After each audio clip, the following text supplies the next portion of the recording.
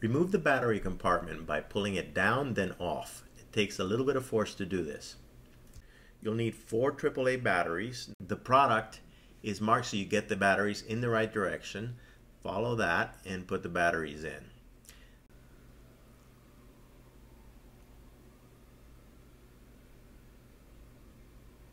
Then just replace the cover.